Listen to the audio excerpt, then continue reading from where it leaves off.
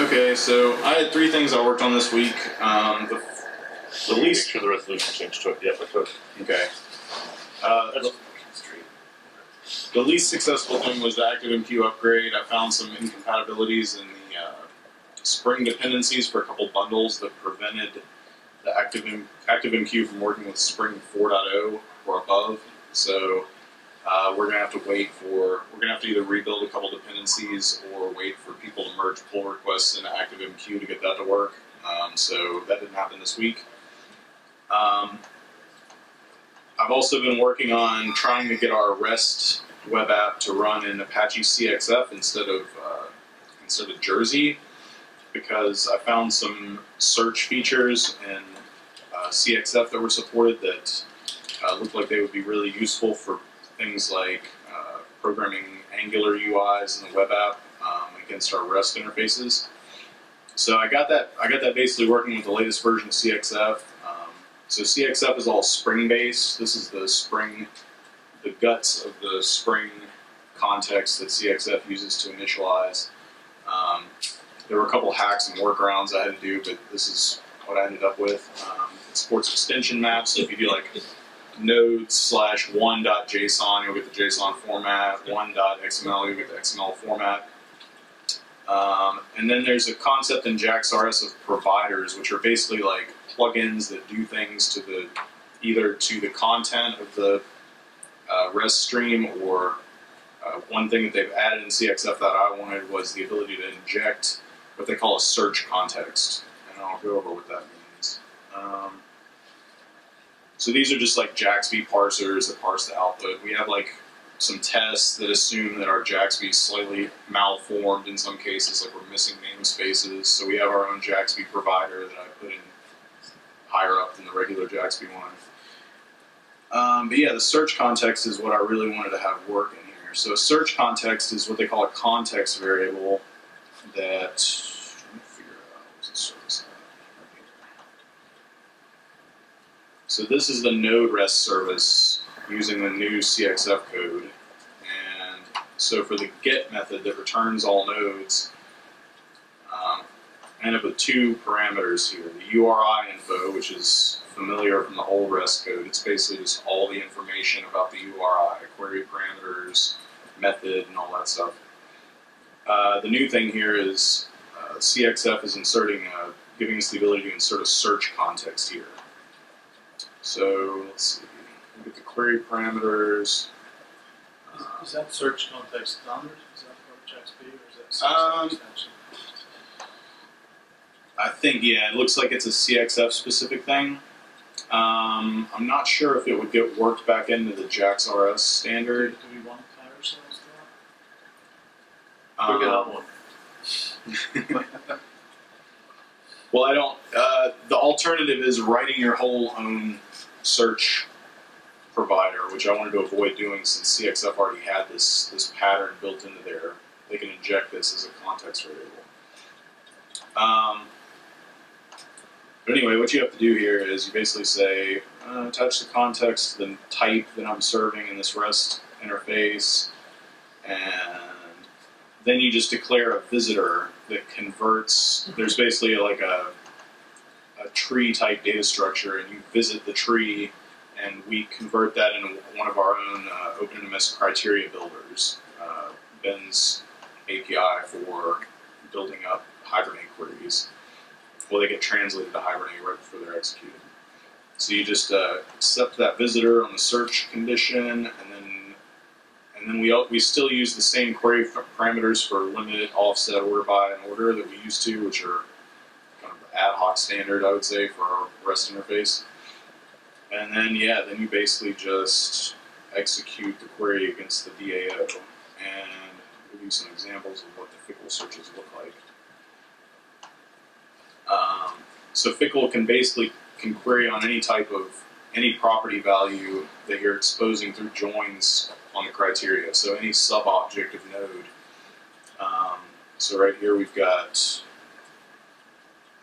this is FIQL syntax for like label equals and then stars function as wildcards. So this would translate to a criteria like statement.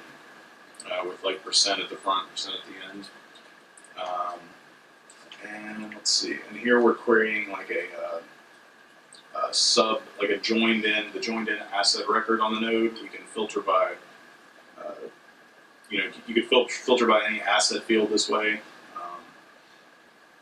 And then lastly, you can also support the semicolon is an and uh, in FIQL. So this is just kind of a dummy statement that uh, tests that I have a node label ending in two and an asset record ID equal to two in the same node. And then you can do parenthetical statements, uh, and semicolons an and, comma is an or. So this would match any any node ending with a label ending in two or a label ending in one. And let's see, I can run the test to show what that looks like. I think this would qualify as an integration test according to DJ's. I think this loads about 50 spring contexts. Yeah, that's a good point. If you start with spring context, give an integration test. So what did it do here? Um, get back. The last query is probably the most interesting one. Uh, it doesn't actually show me, I don't think, in these logs the actual query parameters.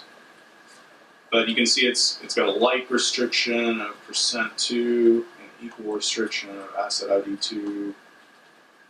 And then, is that the last one? Can you show the code of the configure data? Yeah. Okay, actually, this is the one I wanted to show you. It's like of 2 equal 2, and then it's anding that together. It's anding those together and combining them with a uh, like restriction of node ending in 1. Which, if you look at this query, that's its interpretation of what this this query is. So the yeah, the criteria builder visitor thing is uh, It's been around for a while now. It's what? It's been around for a while now, like 112 maybe? Yeah. It's been around What the- The criteria builder. Oh yeah, yeah. The criteria builder's been around for a long time. It's basically the standard for if you're constructing any type of any type of complicated query. I, everybody should be using criteria builder to do that. And you just do criteria builder. You might have to. Uh, like in here, we say we tell it join paths through aliases here. It's basically like a version of Hibernate's criteria stuff, but it doesn't rely on sessions. So you can kind of make an abstract criteria and then serialize it to a Hibernate query. Essentially, you render it to a Hibernate query and execute it. Because we had we had a lot of problems with Hibernate sessions crossing code boundaries and weird weird session issues in the browser and things like that. And this was this was one way to solve that, and it also lets us hopefully eventually use other things than just straight uh, Hibernate criterias. Yeah, we could we could write a. I think Ben has his own visitor that visits the criteria builder and then ends up with either a hibernate criteria. We could potentially in the future write a JPA one. You know, if it's not exactly the Yeah. same. Or we could turn it into HQL instead of turning it into actual criteria objects, or Yeah. you know Yeah, something exactly. else. It's kind of, it's an implementation non-specific version of criteria API. Um, yeah, this the builder the builder here that converts everything's pretty simple. Um, so yeah, that I'm looking forward to being able to use this as a more like a richer query language uh, for some of the media stuff I'm trying to do. Um, so that's basically the FIQL UI. I haven't really tested it with any other objects yet, so I just just now got this done this morning. Uh, the only other thing I worked on this week that's been on my branch for a week or two is that I think is almost done is uh, the monitoring locations XML that was used for remote pollers. All of that data will be moved into the database.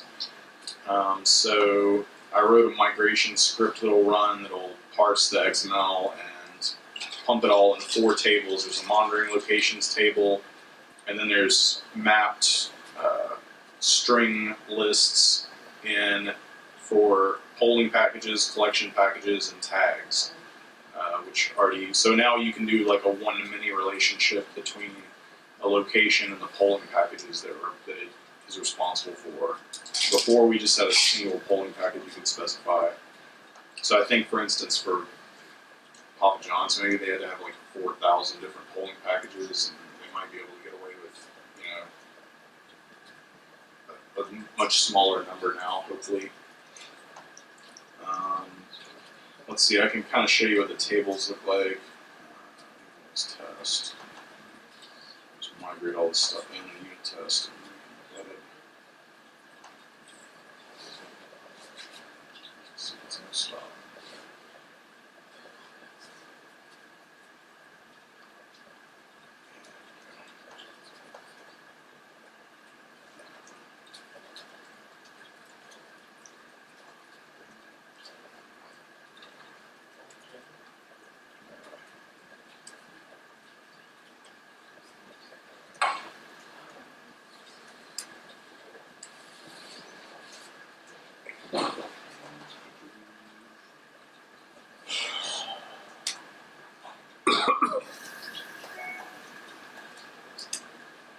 So yeah, this is basically the the same as the old XML format. I separated latitude and longitude into two columns, um, but otherwise it's the same data structure so far.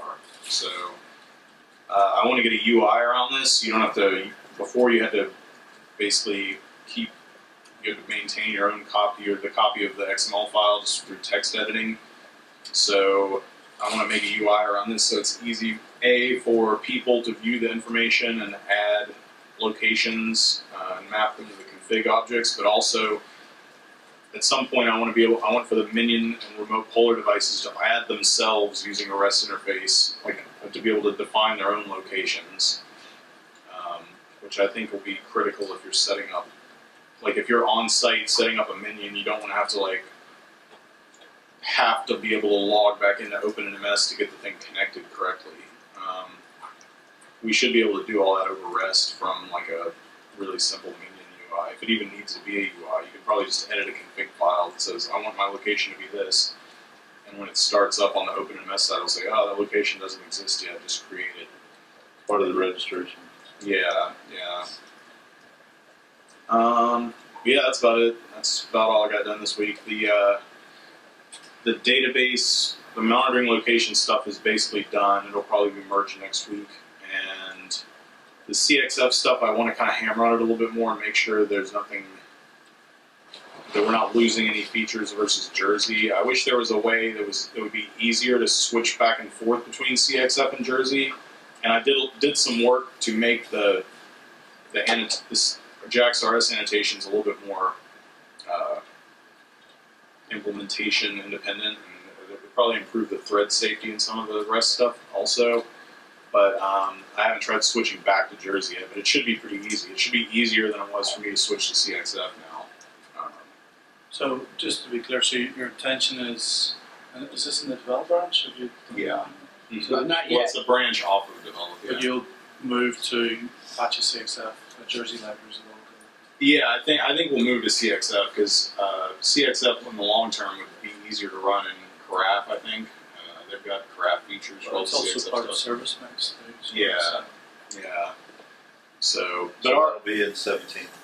Yes. yeah, but our our actual service code, besides the search context stuff that uh, Craig mentioned, it's it's standard JAX-RS annotations. So, uh, I didn't have to change any code to get it to work with CXF. Really, it was more just like putting annotations in different spots so that. It was compatible with the way CXF was interpreting stuff, but it, it, now it should be at a kind of a level playing field between Jersey and CXF. So is the CXF annotation stuff that you've added, do you know if that's been put into a JSON or is it? I don't know. Yeah, I don't know about the search context stuff. Um, the only thing, uh, yeah, I'm not sure. Um, So the output from, from the REST service is the same. Yeah, it should be exactly the same format. Like all the, I didn't change a single line of the unit tests. And So it's all passing. yeah, all the unit tests are working. So To be fair, the unit tests are pretty slim. Exactly. Yeah, that's one thing I'm, I think I might do next week is I might go back to 16 and run coverage on the unit tests, and then make them cover more, and then merge those changes ahead and make sure it still works. Because, uh, and I think too, I haven't looked at how much of the rest stuff we could replace with like FIQL search, but uh, if I do any drastic changes to the REST services themselves, we're thinking about making like a REST 2 interface that is just the next version of the REST UI. Um, and, and we'll just leave the current REST code exactly like it is, and basically freeze that as the, the last version of that interface. So, uh, yeah, that's it for me. Thanks.